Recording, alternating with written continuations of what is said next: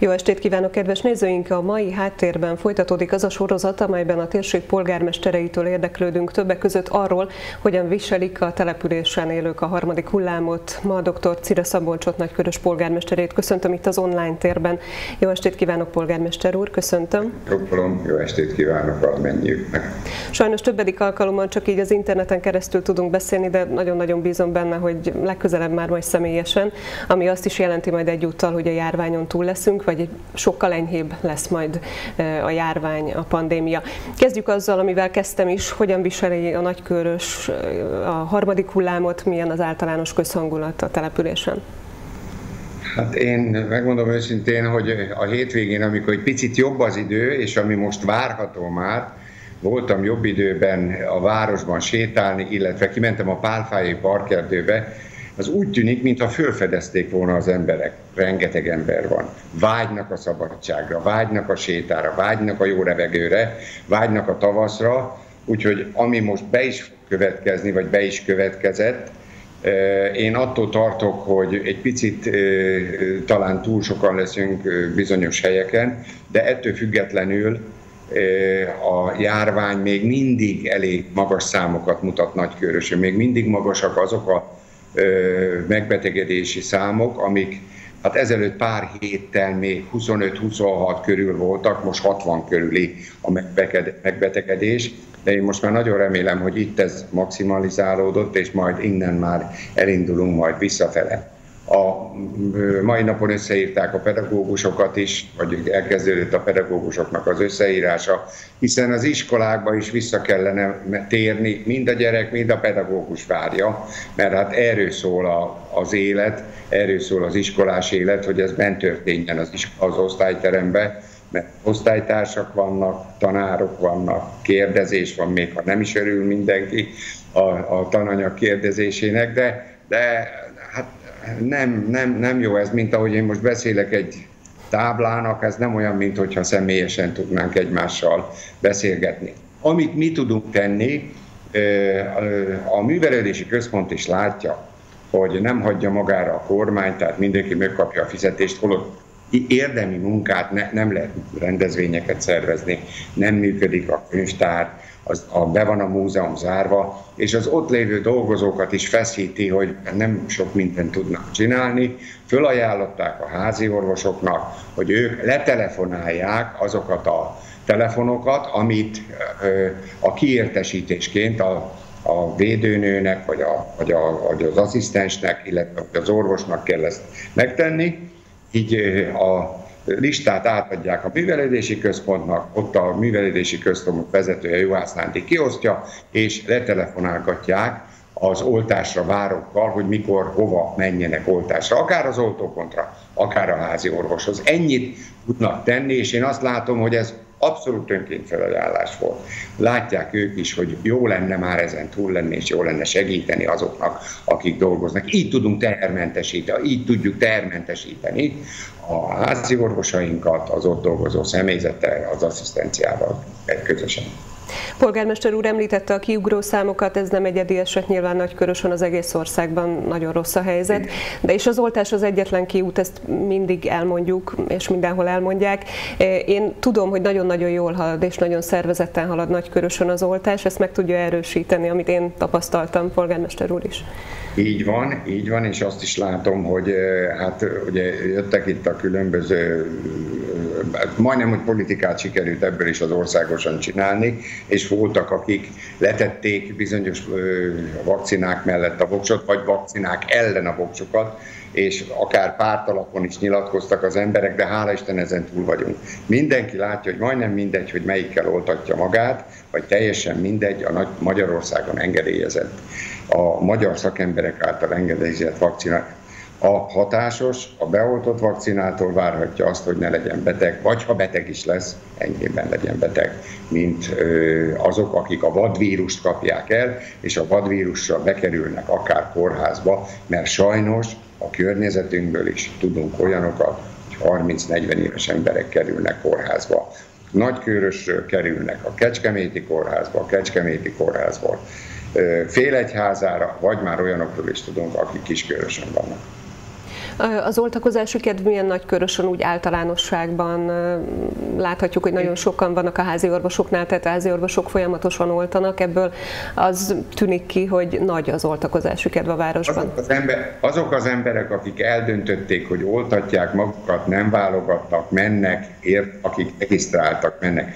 Vannak, akiket annak ellenére nehéz meggyőzni, és vagy ne célozgassak senkire se, hogy tudja, hogy a környezetében megbetegedtek emberek, tudja, hogy a környezetében súlyosan megbetegedett emberek vannak, de ők nem hajlandók oltakozni. Én remélem, hogy a, a, a, a, a, azok is, akik még most már tűnik, hogy kisebbségben vannak. Tehát sokkal kisebbségben vannak azok az emberek, akik nem oltakoznak, biztos számot akkor fogunk tudni, amikor most össze fogják írni, mert egy réteget most összeírnak a pedagógus társadalmat nagykörösön, összeírják, hogy azt ezeket az adatokat megkapjuk-e az óvodákban, iskolákban tanító vagy dolgozó pedagógusokat, a középiskolákban tanítókat. Nagyon kíváncsi vagyok, hogy ez milyen eredményt fog mutatni. Én nagyon remélem, hogy, hogy, hogy sokan akarják beoltatni magukat. Akik meg átestek a betegségen három hónap után, én azt gondolom, hogy szinte száz százalékban úgy vannak vele, hogy be fogják magukat oltatni, mert megcsapta őket fele ennek a betegségnek.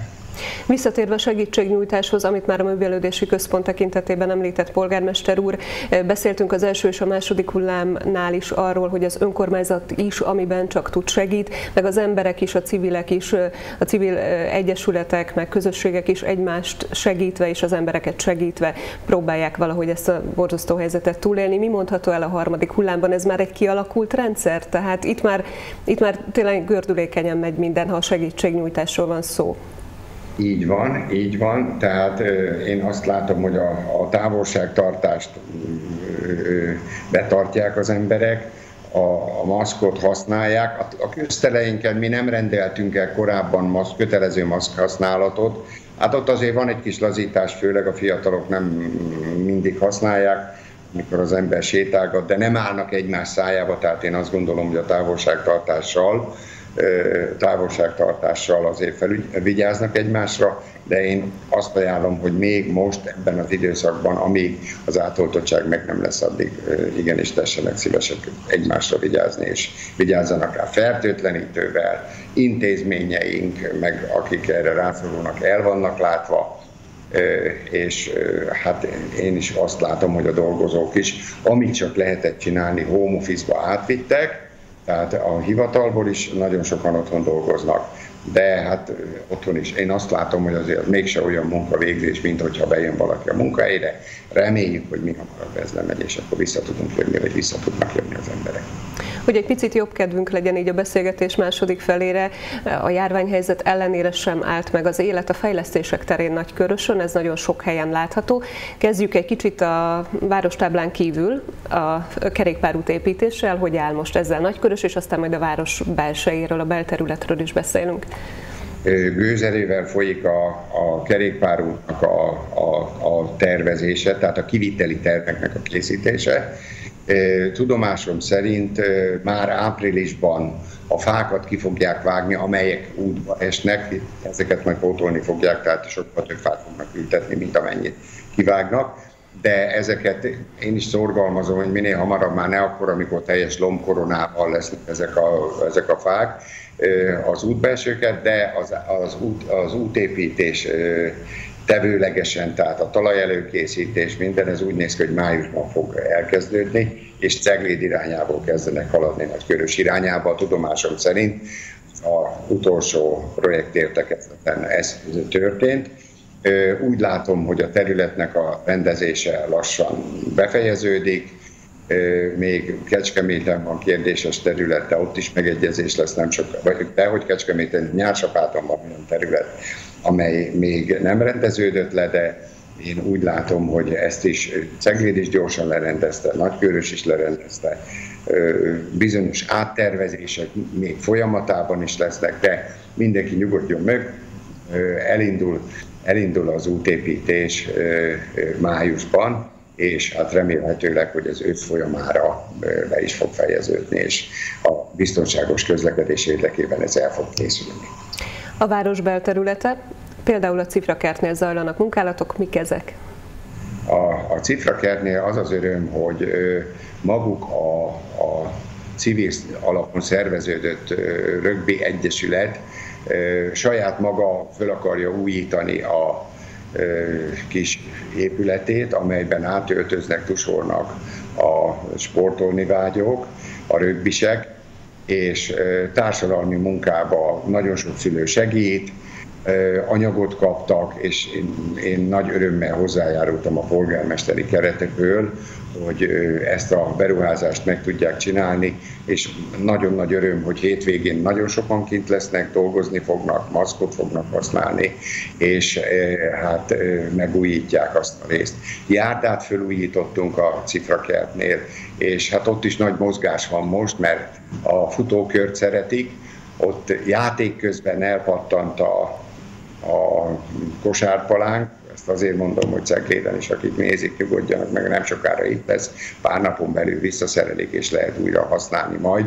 De igazából csapasportot nem nagyon lehet játszani, tehát úgy ott is vigyázzunk egymásra, hogy ne egymás szájába álljanak. Mai nap talán megérkezik a, kosár, a, a kosárpalánk, és azt föl fogják szerelni, tehát a hétvégén már lehet dobálni kocsára, csak vigyázzunk ott is egymásra test főleg, főleg ilyen igazolt versenyszerűen lehet ott sportolni, tehát én azt gondolom, hogy, hogy mindenki tudja, hogy a kocogásnál is egymás után szépen nem egymás szájába szaladgálva vagy sportolva. Én azt hiszem, hogy mégis a mozgást kielégítve lehet, lehet használni. A cifrakertet lehet használni, a játszóteret lehet használni, a csónakázótónál is élet keletkezik, tehát várja mindenki, hogy kiszabaduljon és mozoghasson. A munkálatok még azon kívül a csapadékvíz elvezető rendszert is mintegy 400 millió forintos értékben több helyen a városban, akár a cifrakert mellett is építették.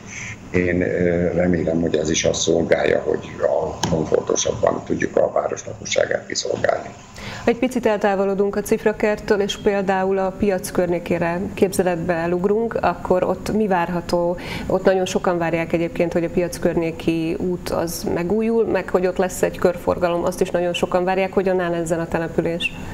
Igen, most nagyon nagy biztatást kaptunk a kormánytól, és ebben segít a Földi László képviselők is bennünket, hogy a, a körforgalmat, illetve a piacnál a nem hozzánk tartozó utat is kiépítsék, és akkor utána majd azt bevállaltuk, hogy a későbbiekben a területrendezés során parkolókat majd még ki fogunk építeni. Mi azt szeretnénk, hogy a nagy beruházást, a körforgalmat, ami a közúté, azt csinálják meg, és erre most a terveket mi már fölküldtük, a tervek alapján be fogják árazni, és a forrást fogják biztosítani. Hát ez sajnos nem egyik napra a másikra fog épülni, de én annak is örülnék, hogyha ebben az évben ez úgy rendeződik, hogy jövőre ez meg tudna épülni.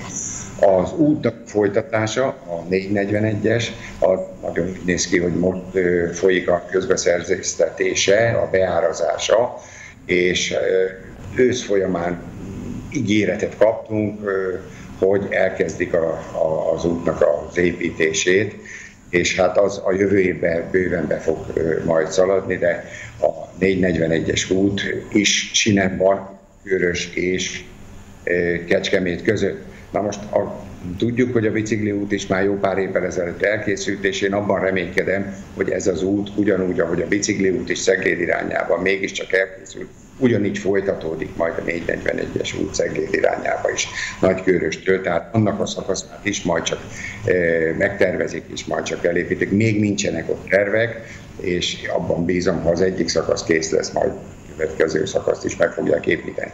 Van a másik, a Budapest fele vezető, a 4601-es út, a 4608-as út, az egészen Csemőig elmegy, ott egy érdekes útvezetés van, ennek az útnak az építése elkezdődött a Kocsér irányába, de majd a Pesti útnak, a, tehát mi Pesti útnak hívjuk ezt a szakaszt, a 4601-est, ezt is nem sokára elkezdik majd, az autópálya fölvezetése lesz Nagykörösnek. Ezek a nagy beruházások, amiről beszéltünk, de azért vannak kisebbek is, utcák, kátyúzások, minden, ami ilyenkor tavasszal lenni szokott. Mi az, ami, ami feltétlenül említésre méltó? Tehát én amikor polgármester lettem, rengeteg sáros utat, rossz utat örököltem. Már jóval száz úton fölül vagyunk, ami ez idő alatt elkészült. Most a város központjában van, meg még a Hétvezér utcánál ezek a, az utak. Tíz földes utunk van, amik eléggé szűkösek, szűkek, abból most kettőt fogunk megcsinálni. Az nem sokára, annak is kiválasztjuk a a bonyolítóját, az a két utca elkészül, és kettőre még pályázunk, tehát az idén négyet szeretnénk megépíteni ebből a tíz útból, a Botond utcát, az, a Szabolcs utcát, az Álmos utcát, és a, azt hiszem Zalán utca, bocsánat, nem, a, a Kund utcát, Kund utcát. De ezt a négy utcát szeretnénk megcsinálni. Azon kívül nem sokára indul másik két útnak, ami tavalyról áthúzódó, mint egy 90 millió forintos önerős útnak a megépítése, amit az önkormányzat saját erejéből megvalósítani, az a Luther utca és a, a, a Bocskai utca. Hát polgármester úr, azt gondolom, hogy sok mindenről tudnánk még beszélgetni, és fogunk is. Még, és nagyon remélem, hogy legközelebb már majd személyesen. A fejlesztésekhez nagyon jó munkát, sok siker továbbra is, és hát ez a mostani járványhelyzethez meg kitartást mindenkinek. Úgyhogy hajrá mindenkinek. Köszönöm szépen, Köszönöm hogy szépen rendelkezésünkre állt. Köszönjük szépen. Viszontlátásra. Viszlát. Kedves nézőink, önöknek pedig a figyelmet köszönöm. Háttér hétfőn is lesz, akkor is számítunk majd figyelmükre. Viszontlátásra.